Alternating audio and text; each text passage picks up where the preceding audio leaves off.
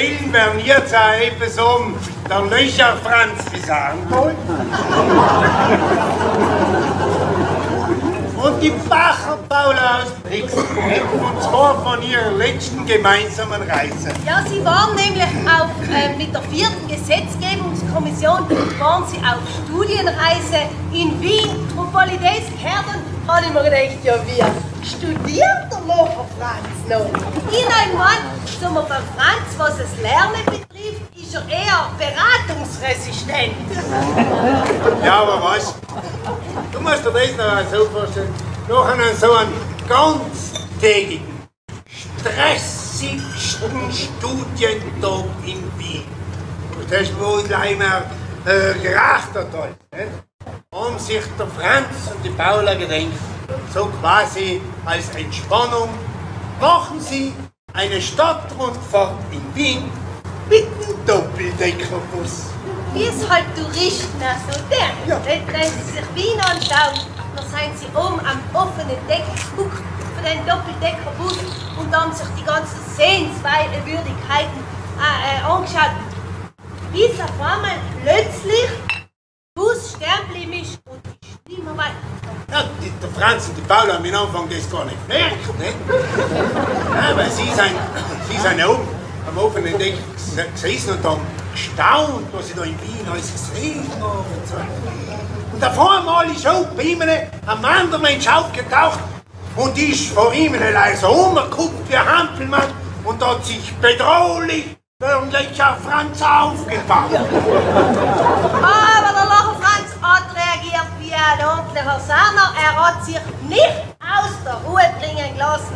Er hat einmal gleich sein Handy rausgenommen und hat einmal seine Nummer gedruckt und geschaut, wie er und die Paula jetzt am schnellsten wieder ins Hotel zurückkommen taten, weil der Bus ist ja nicht mehr gefahren. Ja, weil sie ernsthaft in Gefahr sein sie gewesen, dass sie das gemeinsame Abendessen verpassen. Und das war schon schon gewesen. Und damit war es gratis auch noch gewesen. Von dem gehe ich aus, jetzt werden sie doch nicht bei den Freunden im Heimatland draußen das Abendessen zahlen müssen. Das ist ein Politiker nicht gewesen. Was zu wissen? Ja, zu zahlen. Ja, nein. Ja gut, jetzt, aber der Eindringling da, der rumhupfende Ding, hat sich von Franz irgendwie provozieren gelassen, weil er auf sein Handy allweil umgedruckt hat.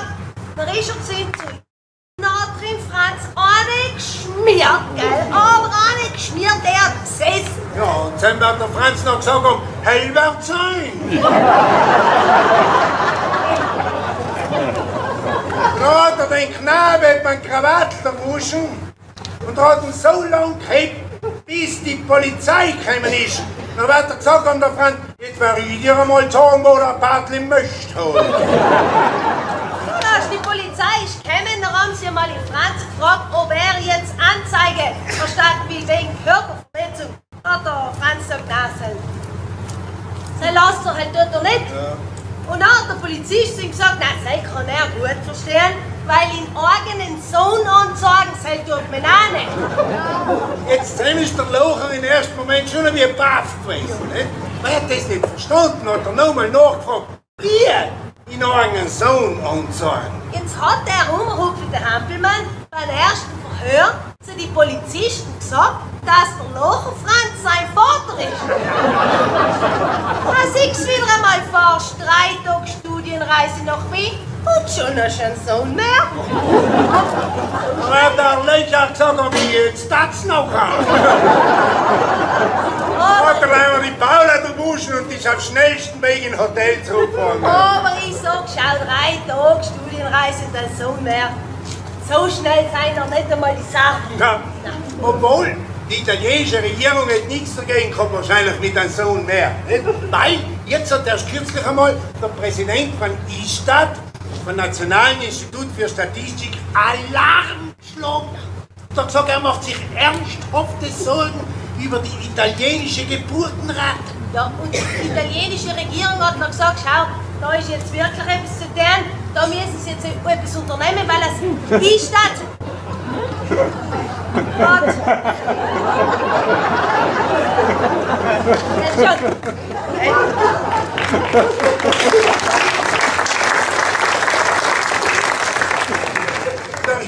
schon. Der War zu trainieren. Aber halt muss ich bei dir nicht sehen. Da, da. Auf jeden Fall. Ich muss es auch nicht trainieren.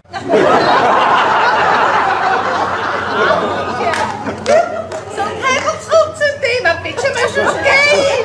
Bitte. So, also, das ist dann von 2021 eine Geburtenzahl von 399.000 gemeldet. Und dann haben sie gesagt, wenn das so weitergeht, dann ist im Jahre 2050 bleiben wir eine Geburtenzahl von 298.000. Das sage ich nicht. So jetzt halt das ist dann errechnet, nicht jetzt wir sind nicht deren, sein weiß ich nicht, weil wenn wir wählen an die feststellen, ob und Bier und so, aber gut, lassen wir das, ist Auf jeden Fall, die italienische Regierung hat gesagt, jetzt ist etwas zu tun. Und sie haben sich zum Ziel gesetzt, so in zehn Jahren haben sie gesagt, wenn sie wieder auf eine Geburtenzahl von 500.000 Kindern im Jahr kommen. Boah, du, haben sie sich ein Hassziel gesetzt. Ah, nicht? ja. Jetzt, wie sie das deren wählen, weiß ich nicht, nicht? Vielleicht, vielleicht will uns die Regierung auch praktische Anleitungen und Tipps geben, nicht? Obwohl ich mir das nicht vorstellen kann, weil ich glaube kaum, dass der Draghi in der Hinsicht noch wertvolle Tipps geben kann, nicht? Als werden sie schon nochmal müssen den Berlusconi fragen.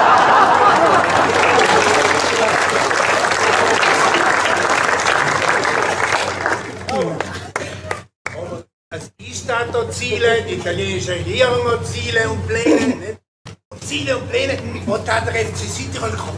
Der FC Südtirol hat heute gesagt, sie wählen in die Serie B.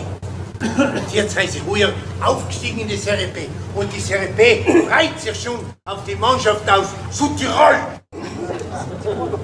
Wo zwar Südtirol auf der Verpackung draufsteht, aber ganz wenig Südtirol rein ist. Außer halt das Geld. Das Geld schon. Nicht? Aber dann haben sie gefeiert, als sie aufgestiegen sind. Wow. Und zwar nicht in die Kabinen von Klaus der Duschkabinenkönig, sondern auf dem Feld mit Champagner und Bier haben sie gefeiert. Und beim Feiern sind sie fast schon Serie A gewesen. Ja, und dann haben wir gedacht, schau, der, der, der Aufstieg in die Serie B ist ja immer ein Ziel gewesen von ehemaligen Präsidenten Walter Baumgartner. Da gesagt, schaut genau ein paar Monate nachdem der Baumgartner als Präsident zurückgetreten worden ist, sind sie aufgestiegen. Das ist die Ironie des Schicksals. Schau mal, aber der Schrochen bin ich nach dem nächsten Tag, weil in der Zeitung gestanden ist, wir sind Serie B. Ich gesagt, wer wir? Ganz. Der spinnt so, ist, ich gesagt, ganz Südtirol, wir sind Serie B. Südtirol hat Serie in seiner DNA nicht drinnen. Wir sind halt die Besten, die Schärfsten, die Größten, die Herrschen und überhaupt die Serie.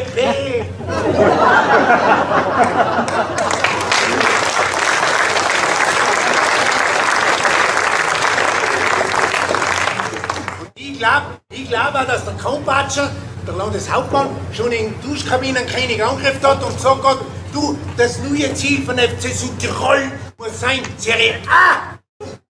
Dann bauen wir ein Stadion aus, über ein so Krumi, das 100.000 Leute Platz So schaut's aus. Wenn der Schuler nichts dagegen macht. Aber der Schuler, der Schuler ist früher schon seit Anfang von Jahr alleweil unterwegs gewesen mit seinem LTEK. Landestourismusentwicklungskonzept. Oder kurz und bündig gesagt, der Betenstau. Und dann ist der Schuler im ganzen Land unterwegs gewesen, von knirschenden Dorf bis überall ist er hingefahren, um seinen großen Wurf anzupreisen. Und dann ist der Schuler beim Vier gekommen, wie ein Fischer, der zur falschen Uhrzeit mit dem falschen Kerl fischen geht. Weil sein beißt kein Fisch auf. So ist es in Schulregeln. Keiner da bissen. Und alle haben sie, mm, ein bisschen nicht, armer Straschine. Und der Schüler ist enttäuscht gewesen. Und er gesagt, das hat er sich nicht erwartet, das kann er nicht verstehen. Dann hat sie gesagt, Schüler, was wir hätten gern ein bisschen konkrete Sachen. Was ist denn da noch drin bei dem? Dann hat er gesagt, nein, erst die Durchführungsverordnungen kommen später. Dann haben sie gesagt, nein, sag sie es erst. Dann hat er gesagt, nein, das Ziel war gewesen, erst einmal das Gesetz, das Gesetz zu genehmigen und danach nach und nach mit Durchführungsverordnungen von der Landesregierung mit Leben fühlen. Und spätestens sind, dann die Bürgermeister, Touristiker und alle, die mit denen zu tun ziemlich nervös geworden. Weil ihm erst ein neues Gesetz für Raum und Landschaft eingefallen ist. Jetzt haben sie genau gleich getan. Und das Ergebnis ist, dass sich heute mit diesem Gesetz keine Sau mehr auskennt und im ganzen Land Ratlosigkeit herrscht. Was so? Wenn heute bauen willst, gehst du zu einem Geometer und erklärst ihm, was der machen soll. Bitte gehst zu einem anderen, da kenne ich mich nicht aus. so schaut's aus. Und da, da haben sie alle hin und her und der Leuchau Franz auch wieder. Und da hat in der Galing der Rachen gesagt, wenn sich einer oder eine erdreistet, bei einer Abstimmung gegen das Gesetz zu sein, dann darf er das nächste Jahr bei den Landtagswahlen nicht mehr kandidieren. Und wir sie mir einen Beitel geben. Dann haben sie gesagt, boah, du, jetzt, jetzt werden wir wahrscheinlich bis das Kreuz hochbiegen und das Handlau. Nicht mehr kandidieren ist auch blöd. Nicht? Was, wenn einmal das Fleisch gewöhnt ist? Dann haben sie im Parteiausschuss haben sie, haben sie nach beraten, haben sie gesagt, Schuler, hast du die Durchführungsverordnungen da? Und dann hat er gesagt, nein, sie vergessen. Dann haben sie gesagt, und was soll man noch? Ja, stimmt, heute mal der Vier, dann werden wir schon schauen. Ja. Dann haben sie der Vier gestimmt, ne? ohne Durchführungsverordnungen. Und acht Tage danach haben sie noch in Landtag, nicht? haben sie immer diskutiert, haben sie, Schuler, was schaut's aus? mit den Durchführungsverordnungen. Ja, die Experten arbeiten noch dran. Ah. Ja, und jetzt, denn der Führer? Alle Lohe, Französ. Und jetzt haben sie wieder genau das. Jetzt haben sie wieder die leere Schachtel beschlossen und wissen nicht, wie es weitergeht. Weil LTEK heißt ja Landestourismusentwicklungskonzept. Und das heißt ja, dass du mir eigentlich ein Konzept haben, nicht? das du präsentieren kannst. Aber ich glaube, alles, was der Schüler gehabt hat, ist viel gewesen, gleich kein Konzept. Deswegen für mich heißt das nicht LDEK, sondern LDEC. Landestourismusentwicklungschaos. Ja, weil das einzige Konkrete, was er gesagt hat, ist in Zukunft, in Zukunft neue Ferienwohnungen und Urlaub auf dem Bauernhof dürfen pro Wohnung Nein, wir drei Bettler. Ich gesagt, ich stelle mir das genial vor. Weißt du, wenn einer anruft und sagt, Guten Tag, ich hätte gerne eine Ferienwohnung für mich, meine Frau und drei Kinder. Dann muss die Vermieterin sagen, ja, wir reden schon frei, aber zwei Kinder müssen es halt daheim lassen. ja, haben gleich drei Betten und sonst müssen wir halt ja auf der Hängematte raushängen. Das ist Sache. Aber was in Schuler gelungen ist, was in Schuler gelungen ist, ist mit dem LDK die bereits vorher innige Freundschaft da zwischen Bauernbund und HGV noch einmal zu vertiefen. Weißt du, wenn sich die jetzt, die verstehen sich jetzt noch viel besser. Und sagen wir schon so sagen, Hut ab, Schuler. Das hast du gut gemacht. Nein, bin ich ja überzeugt, ich bin ja überzeugt, dass jetzt schon, jetzt schon findige Touristiker an Konzepten arbeiten, wie man künftige Urlaubspakete anbieten kann, wo man kein Bett braucht. Weißt du, Wellnessurlaub mit Überlebenstraining schlafen im Schlafsack im Wald auf Du und Du mit Wolf und Bär.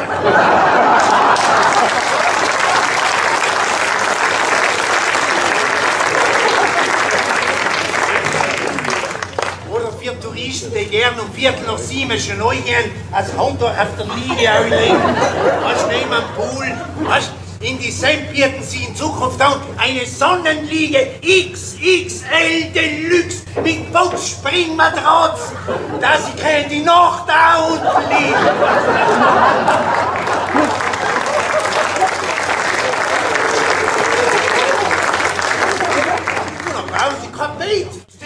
LDK.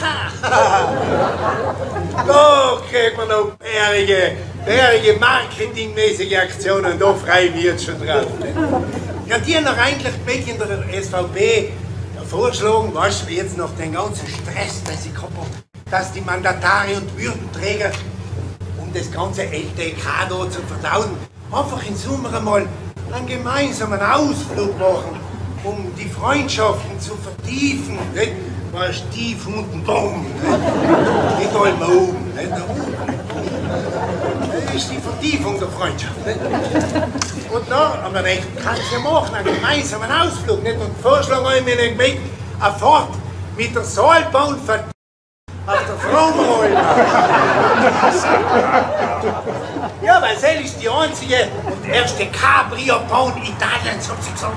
Und dann war es ja interessant, weil sie können Schupanaui fahren, weißt Ihre gestressten Hirnzellen in der frischen Luft ausheben und mit Sauerstoff anreichern, weißt Oh, wie bei der Titanic bei gestanden ist. Ah!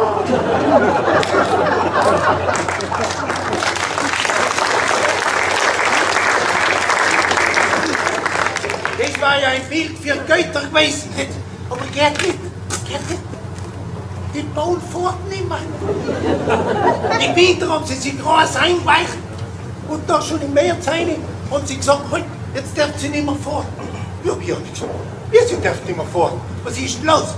Haben sie gesagt, ja, Achtung, sie seien, sie seien zufällig draufgekommen. Zufällig dass die Toll- und Bergstation ein kleines, bisschen zu groß gebaut wurde.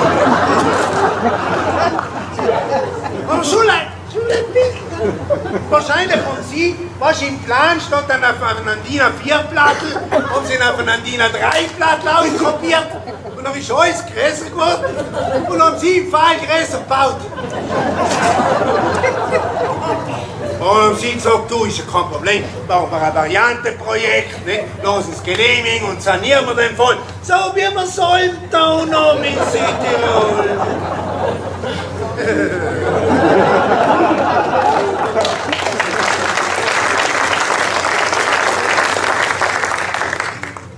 Geht nicht mehr so einfach.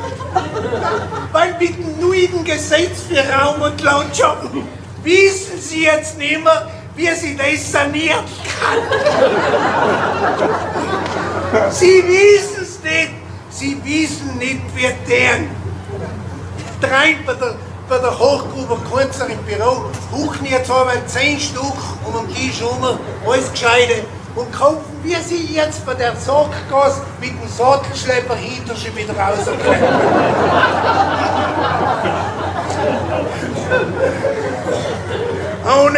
Ohne uns zu stoßen.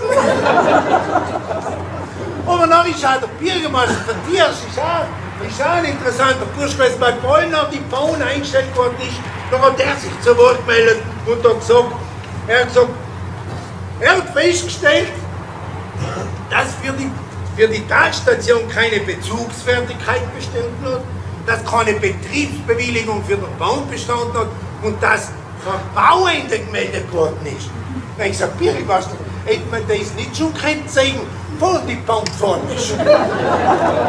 Und nicht erst nach eineinhalb Monaten. Weil ich glaube nicht, dass die schon so groß ist, dass der Bürgermeister jetzt nicht weiß, wo sein, bei seinem Projekt in der Gemeinde, dass 10 oder drei Zettel fallen. Oder? Aber wahrscheinlich hat der auf dem Schreibtisch einfach viel rumliegen. Aktenordner und Zettel und so. Und das sind genau die drei Zettel ganz darunter reingerutscht. Und deswegen sagen die halt, besser war oft einmal ein bisschen aufräumen.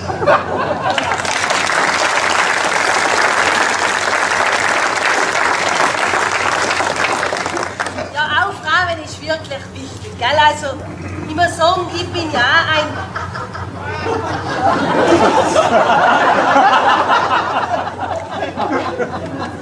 Das sind also die drei Eleonores da. Die sind halt da. Ja, ich muss schon sagen, ich bin ja ein ordnungsliebender Mensch.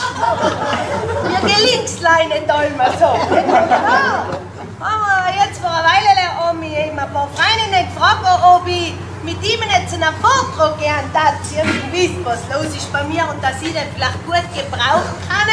Bei dem Vortrag hat ein Aufräumcoach gehalten.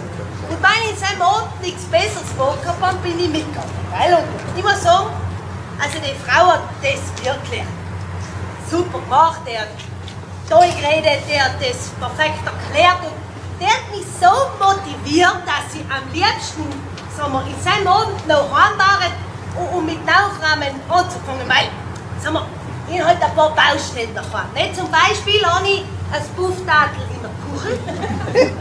Dann habe ich den Stuhl im Zimmer. Den Stuhl sieht man immer, weil alles Band drüber liegt. Und dann habe ich noch den Raum des Schreckens. Eigentlich ist es unser Büro. Die da allem zu. Und allem, wenn sich Überraschungsbesuch ankündigt, dann renne ein Verrückter durch die Wohnung, glaub innerhalb drei Minuten alles zusammen, was rumliegt, ein in dem Büro, bumm, die Tür zu und aufgerannt ist. Äh? und dann bin ich da mit bei dem Foto. Und der Aufräumcoach arbeitet nach dem Prinzip von der Marie Kondo. Seit ich den Foto war, das Prinzip habe ich für mich jetzt ein bisschen verinnerlicht, weil ich mir jetzt wirklich alle Tage so, ich kann da heute aufräumen. Oder ich kann da heute nicht aufräumen. Jetzt die Frau Kondo, gell, das ist ja eine ganz eine interessante. Das ist eine Japanerin, die ist praktisch Aufräumexpertin, die ist Bestsellerautorin, die hat 7 Millionen Bücher geschafft. Übers Aufräumen. Und die hat ja ein paar Sachen wirklich so revolutioniert. Weil die sagt zum Beispiel, einmal im Leben soll jeder von uns ein Aufräumfest feiern. Und das Aufräumfest, sagt sie, kann bis zu einem halben Jahr dauern. Das geht gut. Also ein halbes Jahr ein Fest, nicht gleich so ein Wochenende. Gell? Also ein halbes. Und bei den Aufräumfest sollst du da alles, was daheim rumliegt, rumsteht, Wand, Bücher, Z, alles, einmal in die Hand nehmen, sollst es anschauen, auf du und du, und dann sollst du es fragen, brauche ich die oder brauche ich die nicht? Und wenn du es nicht brauchst, dann musst du es wegschmeißen oder verschenken. Du entrümpelst. Und dann hat sie noch die Ordnung im Kleiderschrank auch noch revolutioniert, weil sie sagt, die kann da, also heute tut man nicht mehr als Champagner und die Branander stapeln und die Kosten und die Daten einlegen. Nein, heute putzelt man alles also zusammen, nicht? also man faltet so klein und dann stellt man alles in Kosten und in die Tadeln ein. Alles so einstellen, dass du das Leimer so ausziehen kannst. Nicht? Also, das müssen wir uns jetzt ein bisschen gewöhnen, das ist jetzt der neueste Schrei. Und bin ich nächsten Tag bin ich noch gestartet, voll motiviert, bin ich daheim, jetzt? bin ich daheim, noch gestartet, wie gesagt, voll motiviert bin ich da rum. Und damit, jetzt fange ich mit dem Band an. Dann habe ich alles für die Kasten rausgeschmissen, Jacken, Schuhe, alles was mich Band zu tun hat. Und dann sind leider sind die Berge daheim rumgelegen. Dann habe ich, jetzt, jetzt ziehe ich mal die größten Sachen aus, was wir nicht mehr brauchen, sind die weg. Da war so viel Zeug. In Geiling bin ich Stufburgen, das habe ich mir alles ganz anders vorgestellt. Ich, jetzt mache ich bei den kleinen Sachen weiter. Rahm ich selber Wein in den Kastel wieder rein. Oh. Hab es noch. Wie lange ich bei einem Stringtank auch immer gemerkt habe. Dass er mal in den Kasten drin gestanden ist.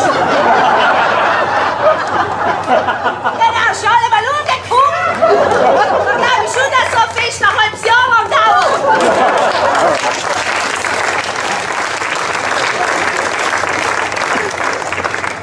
Egal, ich habe die Nerven verloren mit den scheiß Unterhosen, wie gesagt, das habe ich mir ganz anders vorgestellt. Na, na, na, na, habe ich mal gemisst, ein Prosecco trinken. Dann müsst ihr mir nachher anrufen, um ein bisschen anzukommen. Auf Nacht ist noch mein Mann bei der Tierreihe. Sag mal, ich meine, das trifft nicht der Schlag.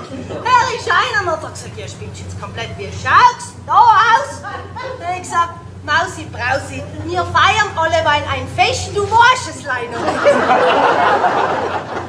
Da habe ich alles genommen, dann bin ich auch Stufe Alles genommen, in die Büro reingeschaut. Dann habe ich gesagt, wisst ihr was? Ich habe gesagt zu den Kindern und zum Mann, sucht euch außer was es braucht und den Rest schmeißt in einem halben Jahr alles weg.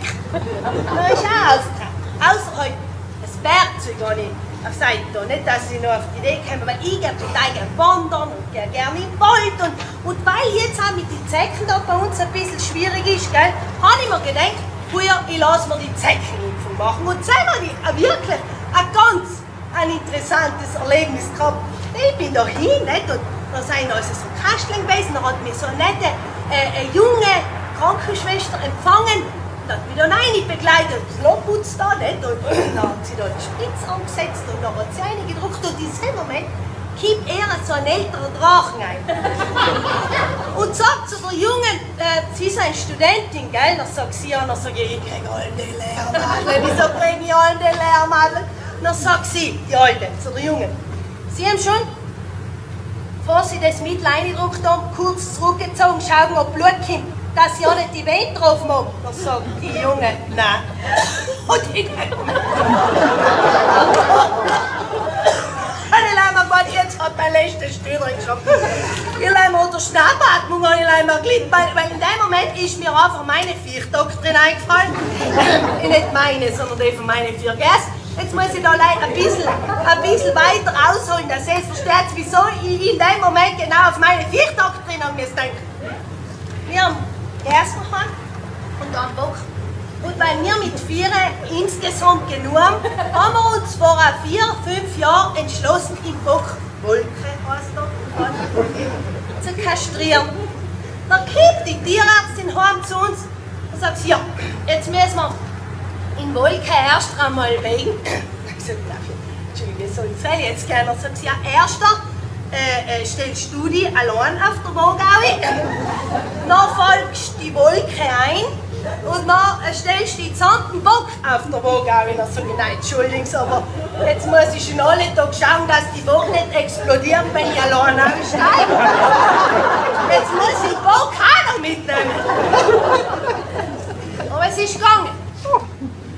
Dann sagt sie in Galing, ja, äh, äh, dann hat sie bist du auf dem Buckel so auf den Tisch gelegen, dann sagt sie, jetzt musst du helfen, jetzt brauche ich als OB-Schwester. Und dann sag ich, ich? Ich kann überhaupt kein Blut sein. Mich wundert es ja bis heute noch, dass ich zusammen nicht in Ohnmacht geflogen bin.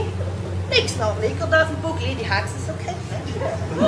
Na, dann fangen sie dann an zu schneiden, nicht? Dann greifen sie das rein und kackeln aus und das rein. Also, also, sondern, boah, ist eh recht flott gegangen. Aber jetzt, vor äh, zwei, drei Wochen, haben wir daheim einmal über Verhütungsmethoden gesprochen. Ja, weil, weil unsere Familienplanung ist jetzt angeschlossen. Dann habe ich gesagt, schau Franz, wenn magst.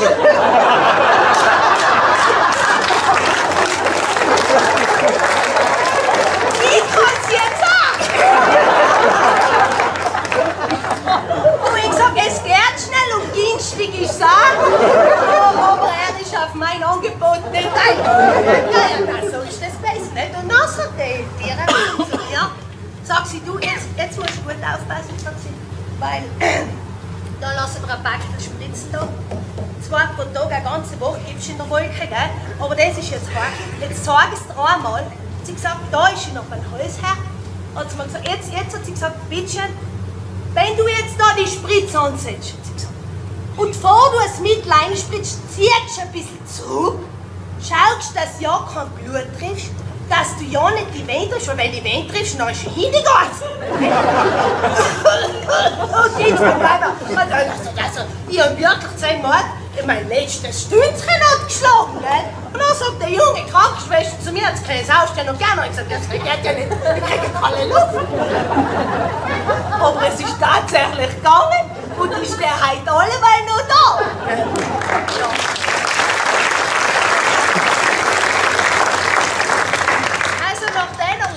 Also muss ich wirklich sagen, ich bin ja froh, dass ich sie gemacht habe, die Impfung. Aber jetzt haben wir müsste schnell in einen, in einen Laden reingehen. Ich, ich gehe brutal gern einkaufen und das beruhigt mich ein bisschen. Möchte, jetzt muss ich ein bisschen einkaufen gehen, dass du ein bisschen ankommst, gell?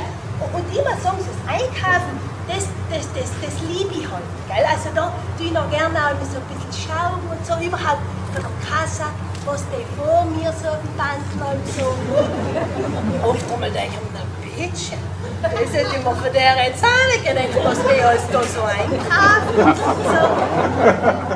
Ja, oft einmal muss ich schaue ich mich auch oft einmal von mir selber noch nicht mit die große Kellogg's Schachtel und luchs ein bisschen zu, was wir nicht sehen sollen so. Jetzt einmal habe ich mir gedacht, ich gehe einen Nusseler machen. Da bin ich allein mit zwei Schnapsflaschen durch, durch, durch den Laden gerannt. Nein, meinte er, die schauen jetzt aber alle komisch, gell? Und dann bin ich, an angefangen, in jedem Geschäft begegnet ist, zu rechtfertigen, was ich mit den Schnapsflaschen jetzt tue. Da haben sie mich noch blöder angeschaut meinte, jetzt glauben sie erst recht, dass ich besucht bin.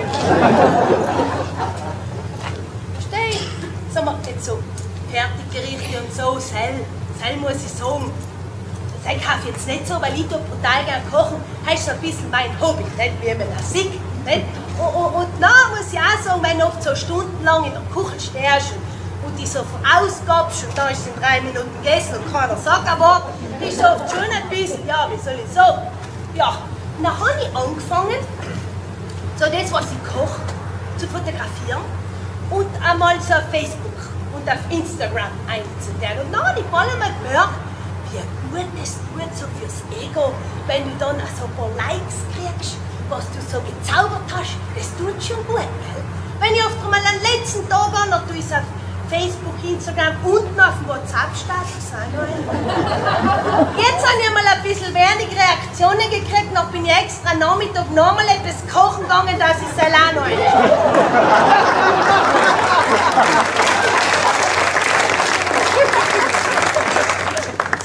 durch Balz gegangen, ich und mein Bruder, alle stehen vor uns, und sagt sie, na sieh mal, hat sie gesagt, ha, ich hab's ein Glück daheim, deine Mama kann so gut kochen, eigentlich geht's gut. Dann sagt er zu ihr, ja, und gesagt, aber in letzter Zeit gibt's leider kalt. Dann sagt sie, wie? Kocht sie nicht über die Mama? Er, wo ist er schon? aber bis sie die ganzen Fotos für Instagram gemacht hat. Wie ist es dabei kalt?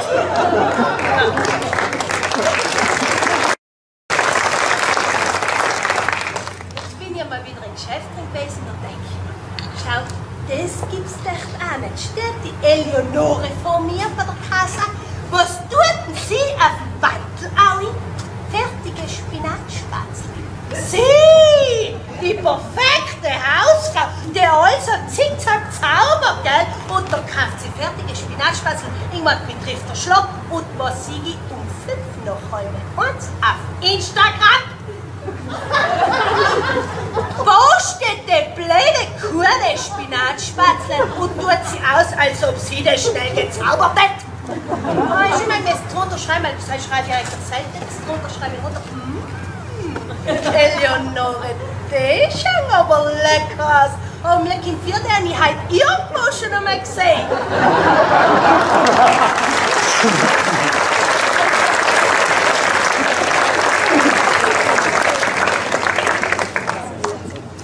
Ja. Von Aufräumen hat die Barbara gesagt, von Aufräumen. Aufräumen ist früher auch angesagt gewesen.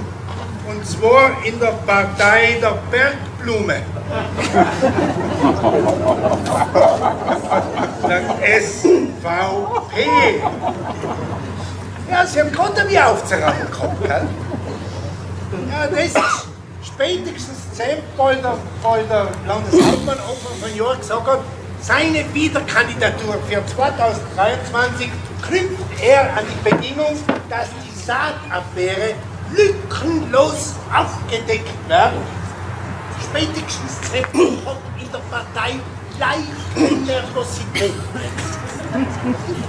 Wollen noch zu Anfang März die ersten Auszüge für die Aufhörprotokolle so ans Tageslicht gekommen sein, hat das nicht dazu beigetragen, dass die Nervosität weniger wurde.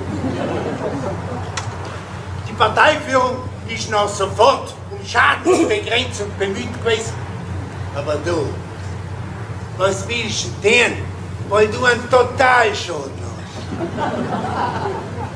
Dann brauchst du leider in Abschleppung verschroten und weg. Nutzt nichts. Nicht der Parteiobmann, der Achammer, der Meisterredner aus Finsel. Ist ja erst die längste Zeit auf Rauchstation gegangen. Und dann plötzlich auf einmal ist er aufgetaucht mit dem Kehrtadel und mit dem Besen in der Hand und hat gesagt, jetzt ist er da, der Macher und Aufräumer. Und dann ist er medial sehr präsent gewesen. Und dann hat er bei jedem Interview, hat einmal hat er den Satz gesagt, das muss ich in aller Deutlichkeit sagen. Das muss ich in aller Deutlichkeit sagen. Da haben wir mal gedacht, ja sag's einmal. Er hat ihm gleich getraut, aber, aber gesagt hat er es nie. Aber das, das, das seht da, das muss ich in aller Deutlichkeit sagen. Das lernen Sie mir halt bei den Rhetorikkursen, nicht? wo Sie mir lernen, viel zu reden und nichts zu sagen. Und selbstbeherrschter haben wir als einer von den Besten in der Partei der Bergblumengemeinschaft. Richtig gut gefallen hat mir auch, hat mir auch der Parteisekretär, der Bremstaller, Schasaner, wie der Löcherfranz. Das hat noch bei einer Sendung von Rai Südtirol am runden Tisch, ist ja nie aufgefallen, Sendung heißt am runden Tisch, alles ist zusammen, leider mir kein runder Tisch. Ja, aber das ist bewusst, weil den runden Tisch sollst du dir vorstellen. Den sollst du dir vorstellen. Dass, du dir vorstellen, was die alle für ein Leben reden um den runden Tisch. Schämt. Ja. Und da halt. Und dann haben sie im Brennstall gefragt, dann haben sie im Brennstall gefragt, was jetzt die SVP deren will, so wir nach den ganzen Schlamassel da. Na, der Brennstaller fast eine Stunde lang allem das Gleiche gesagt. Dass Sie jetzt, hat er gesagt, in den Parteigremien anfangen werden, miteinander zu reden und Gespräche zu führen. Wer war? Schauen Sie sein Kaum. Hat er ihm das gesagt? Na, aber ich ja, was haben Sie bis jetzt getan? Haben Sie eigentlich angeschwiegen? Na, geredet werden Sie schon noch, aber heute nicht miteinander. Wer übereinander. Übereinander. Und Polner, oh Polner, das Buch erschienen ist von den Freunden im Edel, weißt du. Ui, ui, ui, ui. Sei wie es aufgegangen. Spätestens wir, müssen total aufpassen, dass du nicht den Überblick verlierst. Weißt? Wer jetzt mit wem ist und wer gegen wem und so weiter. Nicht? Weil das ganze Schlamassel ist ja nicht basiert vom Hörensagen, sondern vom Abhören. Ja, weil die Abhörprotokolle, die sie eigentlich erst erstellt haben wegen der Saataffäre, die sind durch die Südtiroler Politiklandschaft durchgerauscht wie ein rauschender Wildbach. Zack!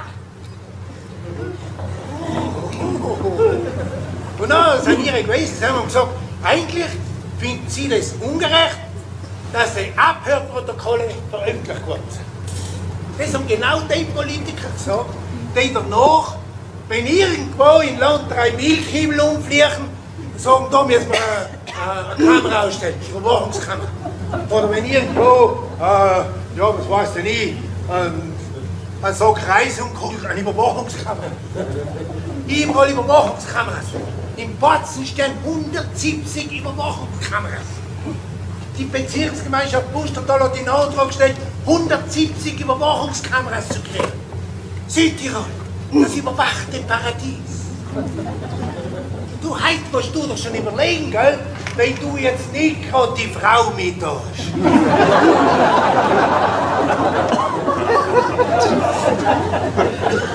Ob du irgendwo an einem Dorf feine fährst, verstehst du? Deswegen sage ich, da sollten sie endlich einmal die Tafeln, die Tafeln, was Grüß Gott in Bercha oder Hallo in Las oder Willkommen in Montan, die sollen sie wegnehmen und sollen also ein großes Schild leiten, Video überwachtes Dorf Du kannst vorne eine vor schon umdrehen. Ah, Gott, wenn das Paradies, wenn das Paradies so überwacht wird, es bei mir heim, dann hat der Adam, der Depp, den Äpfel nie gegessen.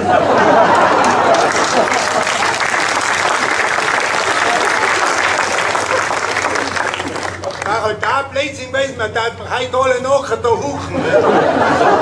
Ablehnen, nicht mal ablehnen. Aber so ist es. So ist es. Der hat sich noch aufgeregt, dass die, die Protokolle veröffentlicht worden sind. Die haben gesagt, aber die, die Veröffentlichung von den Abhörprotokollen musst du aus ganz einem anderen Blickwinkel sehen. Und zwar aus dem Blickwinkel von den Polizisten und Beamten, die sich den ganzen Schmur müssen downloaden, weil die einen telefoniert haben. Nicht? Wenn das keiner breiten Öffentlichkeit zukommen mag werden, dann reden die ja mal schon gearbeitet. Wenn ja keiner gehört. Und zum Schluss und zum Ende ist das ja mit öffentlichem Geld finanziert worden. Und wenn das noch eben niemand gehört hat, dann war noch der Rechnungshof gekommen und hat gesagt, das ist Verschwendung von öffentlichem Geld, weil das nur eine kleine Minderheit zur Herren kriegt. So schaut's aus. Aber richtig, richtig interessant ist ja gewesen amüsiert haben sich viele, wollen nachher die Liebeserklärung von Wiedmann an den Landeshauptmann. Was da ans Tageslicht gekommen ist, weißt? Weil er mit dem Gatter telefoniert hat. Ja, grüß dich damit, das ist schon Landesrat. Nein, noch nicht, aber wir müssen schauen, wir müssen schauen. Und dann hat er ja angegliedert, der schlechteste Landeshauptmann aller Zeiten, bringt nichts weiter und, und, und so viel Schaden in so kurzer Zeit und was der Teufel. Das einzige Blöde bei solchen Abhörprotokolle ist ja, dass du danach nicht sagen kannst, das gesagt. Geht nicht, geht nicht. Und dann, und dann hat der Landeshauptmann gesagt, er ist enttäuscht von Wiedmann und hat kein Vertrauen mehr zu mir. Hat der Wiedmann gesagt, das kann er nicht verstehen. Nein, er gesagt, das versteht er nicht. Schließlich hat er sich entschuldigt. Oh! Habe ich gesagt, ah, das war das Gleiche, wenn ich jetzt da ich noch an die Zähne in den Kragen einschlagen, weil sie leider so beim Boden rumliegen taten. Und dann die sagen, ach, du, tut mir leid, gell, aber ich möchte mich schon entschuldigen, gell? aber glaubst du, der Zaun und steigst du da wieder rein?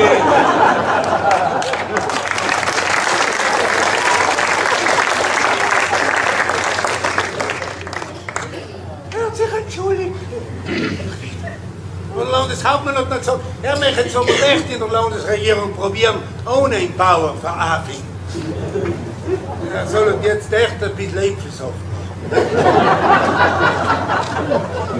Und dann sind ihre gekommen und haben gesagt, na, aber Sie finden das schon irgendwie ungerecht, dass der Landeshauptmann in Wiedmann jetzt in die Wüste schickt, weil der Wiedmann hat ja nichts getan.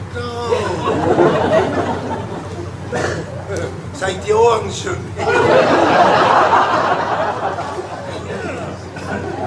Ja, aber der, Bied, der Wiedmann ist aber auch, also er, ist, er ist ein cooler Typ, nicht? weil er hat wieder etwas Neues erfunden. Er hat eine neue Form von Pressegesprächen in der Zeit ins Leben gerufen. Was sind die Pressegespräche gewesen? Der Wiedmann ist erschienen, Statement verlesen, keine Fragen zugelassen, Flucht ergriffen. Und bei einer von den Gelegenheiten hat der Wiedmann gesagt, er ist brutal enttäuscht von der heutigen Politik, weil die ist grottenschlecht. Ich sage, hat er ja nicht einmal Unrecht. Der Wiedmann. Leider er vergessen zu sagen, dass er bis vor kurzem an der grottenschlechten Politik aktiv, so aktiv wie er halt weiß ist, mitgearbeitet hat.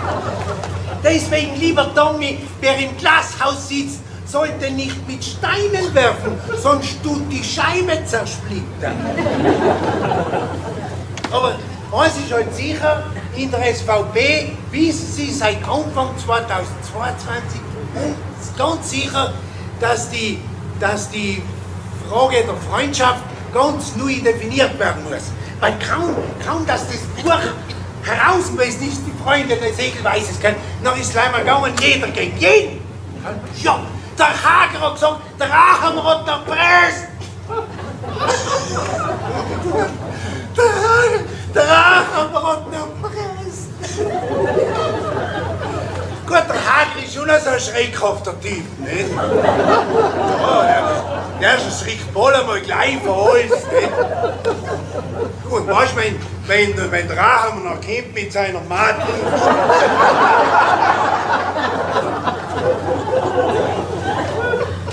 Hagen anders zittert.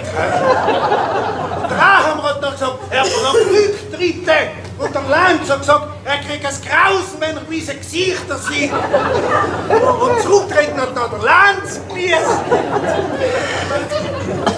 Und der Wiedmann hat gesagt, er hat den Landeshauptmann Leibmeck vom Gatter schützen. Worauf der Gatter sofort das dementiert hat und gesagt hat, Wiedmann, pass auf, was du sagst, weil sonst schreibt er der Gatter ein Buch.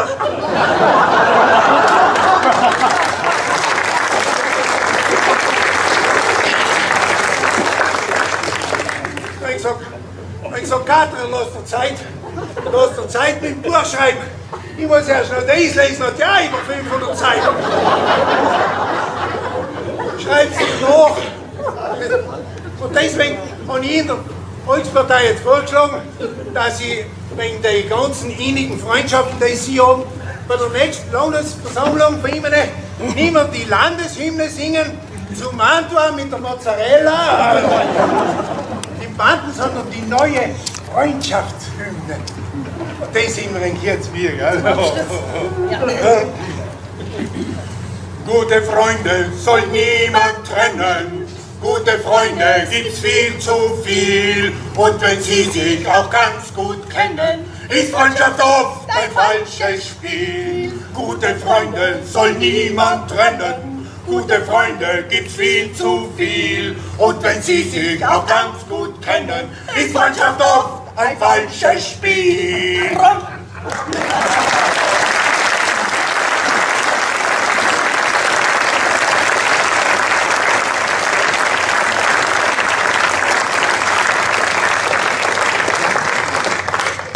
Und ob das also so ist, so sehen wir es. Dankeschön.